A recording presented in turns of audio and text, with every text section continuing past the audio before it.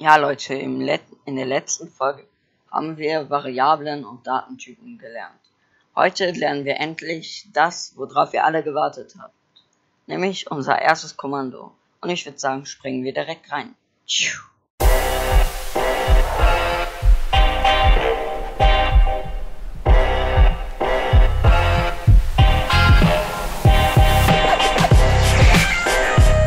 Ja, wir haben jetzt ein Netzwerk da haben sie viele verschiedene Spielmodi, sowie Kreativ, City Build, Word C und vieles andere.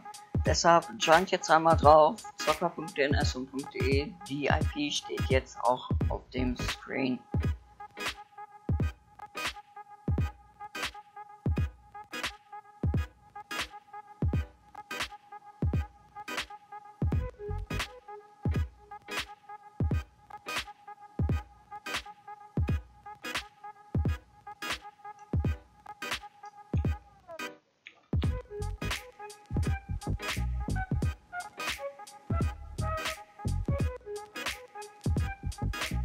Das allererste, was ich sagen würde, was wir machen, erstmal das alte Programm, wo wir hier gemacht haben, was passiert, wenn es bootet.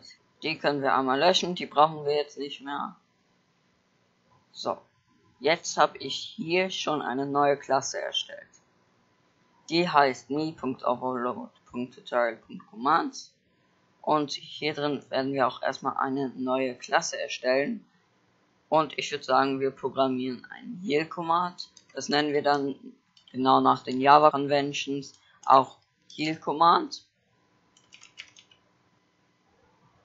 Erstellen diese Klasse und ihr seht, hier, wir haben eine neue Klasse. Heal-Command, die Klammer können wir so lassen, nicht so wie bei anderen Sachen, wie bei Methoden. Habe ich auch euch gezeigt, deshalb könnt ihr jetzt einmal darüber gehen. Wenn ihr das noch nicht geguckt habt, dann guckt euch die ganzen vorigen Videos dazu an, weil das aufeinander passiert.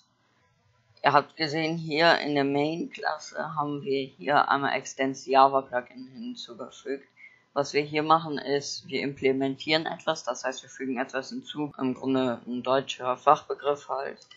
Das Ganze natürlich auf Englisch, weil Java ist Englisch. So, Viele von euch kennen vielleicht das deutsche Wort implementieren. Das ist ein Fachbegriff für einbinden, hinzufügen, halt sowas. Und ja, hier implement und dann fügen wir etwas hinzu, nämlich Command Executor. Also Command Executor. Der wird euch jetzt hier einen Fehler anzeigen. Nämlich hier an der Seite könnt ihr die Glühbirne sehen. Könnt da einmal draufklicken und dann steht hier Import Command Executor org.bucket.command. Hier oben seht ihr Package me.overload.tutorial.command. So, wenn wir das jetzt einmal machen, also einen Doppelklick darauf machen, dann steht hier Import. So, das direkt unter dem Package und importiert den Command Executor. So, hier, das importiert den, wie ihr seht. Er wird euch immer noch einen Fehler anzeigen. So, hier wird jetzt etwas, etwas komplizierteres passieren. Nämlich, ihr klickt wieder auf die Glühbirne und dann kommen hier mehrere Sachen und ihr klickt einmal auf Add Unimplemented Methods. Methods. Auf jeden Fall. Das wird erstmal hier die nicht implementierten Sachen hinzufügen. Und dann kommt hier so eine riesenlange Sache. Das Ganze erkläre ich euch jetzt. Erstmal könnt ihr die Auto-Generated Methods ablöschen. Das ist im Grunde einfach ein Platzhalter, ein Kommentar. So, ihr seht, der hat jetzt hier, hier mega viele Sachen importiert und hier einmal eine neue Sache hinzugefügt. Den Boolean, den kennen wir schon. OnCommand ist eine neue Methode. Kennen wir noch nicht. Diese Methode sagt, wenn dieser Command eingegeben wird. Also dazu kommen wir gleich, welcher Command eingegeben wird. Command-Sender, das ist der Sender. Also das hier seht ihr das Arc 0, Arc 1, Arc 2, Arc 3. Dann steht, seht ihr davor immer Sachen. Command Sender ist der Sender, ihr müsst das auch so umändern.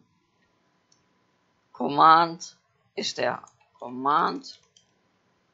String ist das Label. String äh, arc3. Der ist jetzt etwas anders. Das hier müsst ihr einfach eingeben, da lernen wir später was zu. Erstmal jetzt braucht ihr nichts darüber zu wissen. So. String in Klammern arc3. Das sagt aus, ob es Untercommands gibt. Das heißt, wenn wir slash heal und dann Spielernamen eingeben, ja, dann gibt es weitere Argumente und die kann man da eintragen. Da ändern wir die 3 einfach durch ein S und dann steht da args. So, jetzt haben wir erstmal gemacht, dass der das implementiert, die ganzen Sachen importiert damit und in den, wenn er startet, in den Boolean, also ist das falsch oder wahr? Das haben wir auch in der letzten Folge Datentypen und Variablen gelernt on Command, wenn der Command eingegeben wird. Wer ist der Command-Sender? Der Sender, der ist entweder der Sender, also der Spieler, ein Command-Block oder eine Konsole, kennt ihr alle bestimmt, wenn ihr einen Minecraft-Server besitzt. Und ja, Command ist der Command, ganz simpel erklärt. String Label brauchen wir auch noch nicht zu wissen. String Args hatte ich euch gerade erklärt. Return False, was bedeutet das? Das sagt im Grunde, dass der das zurückgibt. Das heißt, wenn ihr das Kommando eingibt, dass der das auch einfach in den Chat zurückgibt. Und ja, jetzt kommen wir zur ersten Sache. Wir machen jetzt hier erstmal nach dieser geschweiften Klammer ein Enter, gehen eine Zeile runter und schreiben erstmal if. If, das ist, wenn ihr fragt, wann ist etwas. Im Grunde selbsterklärend, if ist ein englisches Wort, wenn. Wenn, Klammern das wird genau mit, den, mit diesen geschweiften Klammern geschrieben und dann macht ihr da erstmal geschweifte Klammer und dann einmal Enter, dann wird die zweite geschweifte Klammer hinzugefügt. So, was wir jetzt in diese if-Klammern reinschreiben. Dann nennen wir Instance of, das heißt, ist eine Instanz von Player, also dem Spieler. So, jetzt natürlich die Frage, von was ist eine Instanz? So, hier schreibt ihr einfach Sender hin. Wir sagen hier oben, dass der Boolean, da ist, wer ist der Command-Sender, wird gefragt. Das ist der Sender. Der Command der Command, String Label, String Args, können wir jetzt mal überspringen. So, dann hier, wenn der Sender ein Spieler ist.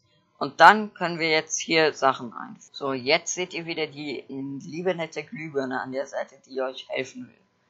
So, ihr klickt wie gesagt wieder da drauf und klickt auf Import Player. Das heißt, wir importieren wieder was. Hier stehen jetzt vier Sachen, die sollten implementiert sein. Und ja, jetzt können wir sagen, Sender, Punkt. So, jetzt können wir Sa Sachen abfragen hier gibt es ganz viele, könnt ihr euch durchklicken, könnt ihr gucken, was die machen. Im Grunde müsst ihr nur von Englisch nach Deutsch übersetzen. Hier könnt ihr verschiedene Sachen machen. Ihr könnt die Location, wo der Spieler gerade ist. Ihr könnt den Spielernamen kriegen. Ihr könnt das Inventar öffnen. Kein Damage. Ihr könnt alles verschiedene Sachen machen. Und ja, das ist eine riesenlange Liste. Da könnt ihr einmal durchgehen. Könnt verschiedene Sachen ausprobieren mit den Strings, was ich euch schon in der letzten Folge erklärt habe.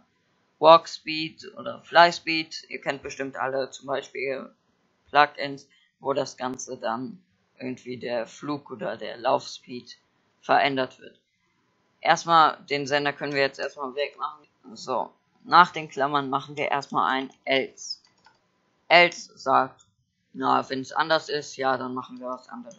So, dann wieder eine geschweifte Klammer und Enter. So. Jetzt sind wir in dem else drin. So, da werden wir einmal reinschreiben. Sender. Send Message. Hier. Dann nehmen wir einmal das erste. Und dann steht da arg 0. So, jetzt steht hier wieder ein Argument, ein arg 0. So, hier machen wir das einmal weg und ersetzen es einmal durch Anführungszeichen. Wichtig ist hier, das muss in den Klammern sein mit einem Semikolon dahinter. Ja, was ihr jetzt dann macht, ist, ihr könnt da eine Nachricht eingeben. Also wir fragen ja hier ab, wenn der Spieler ein Spieler ist, dann passiert nichts. Wenn er das nicht ist, soll er eine Nachricht senden. Hier, wenn wir jetzt diesen Command eingeben würden, dann würde hier stehen, wenn wir das in der Konsole bei uns auf dem Server eingeben, du bist kein Spieler. Wir schreiben hier erstmal rein Player Player gleich Sender. Hier, das sagt im Grunde, der Spieler ist ein Spieler, also ein richtiger Spieler. Spieler ist bei uns äh, ein Platzhalter wie ein String. Player ist, dass ein Spieler ist, also ein Entity-Typ vom Spiel, Typ Spieler. Und das ist der, der Sender. So, jetzt wird euch hier immer noch ein Fehler angezeigt. Hier könnt ihr wieder auf die Glühbirne klicken und dann das erste auswählen, das Add Cast to Player. Da macht ihr einen Doppelklick drauf und dann sollte sich das so umändern. So, nachdem wir das gemacht haben, können wir jetzt alles machen, was wir wollen. Wir können sagen, der Spieler, Punkt. Und dann können wir einen Potion-Effekt machen. Wir können erstmal Player.set Health. Bei mir wurde jetzt nichts angezeigt, das ist, weil wir nach dem Punkt aus diesem Menü rausgegangen sind. Wenn ihr unbedingt dieses kleine Menü wollt, dann macht ihr da einen Punkt an und lasst das so und schreibt dann einfach Set Health. Ja, dann seht ihr hier ein Double. Double ist ein neuer Datentyp. Der, dieser Datentyp werden wir oft benutzen. Und ja, der befasst einen viel größeren Zahlenbereich von minus 2 Millionen bis plus 2 Millionen. Und auch Kommazahlen, also ist im Grunde wie ein Integer, nur mit einem größeren Bereich. Machen wir einmal einen Doppelklick drauf und dann steht da drin arc 0. Wie wollen wir die Spielerleben setzen? So, die Spielerleben setzen wir auf 20. 20, warum? Spieler hat 10 Herzen. Die werden jedenfalls in Halbherzen unterteilt und werden deshalb auch immer mal 2 genommen. So, dann können wir danach auch nochmal das Food Level setzen.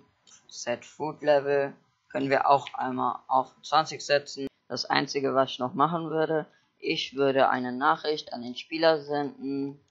So, hier können wir dann jetzt irgendwas reinschreiben, aber wir wollen das Ganze jetzt mal in Farbcodes machen. Das heißt, wir nehmen Shift und 3 und dann die Standard Minecraft Farbcodes. Das heißt, wir können da jetzt zum Beispiel in hellgrün hinschreiben und hier dann auch, aber dieses Mal in rot.